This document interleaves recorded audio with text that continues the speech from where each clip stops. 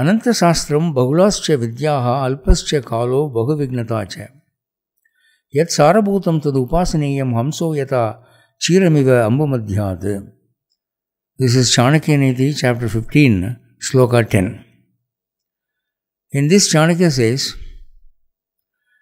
the amount of shastras is very extensive. Books are too many, countless.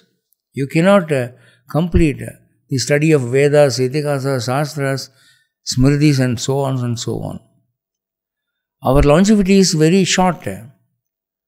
Hurdles are too many. When that is so, why do you plan to complete the whole Shastras by studying them? You can never. So, act like a swan. A swan takes milk from water and is happy with it. Similarly, choose the most essential Shastra only. Limit your desire with that.